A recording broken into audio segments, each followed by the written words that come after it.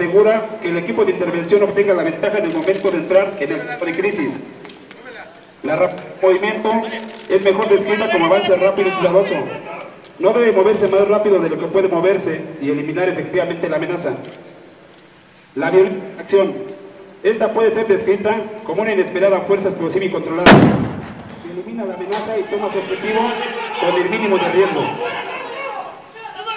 E intervenir a la habitación, el equipo de acción principal debe llevar a cabo los fundamentos de combate cercano que son dominio de la habitación y por, último la evacuación de los no combatientes.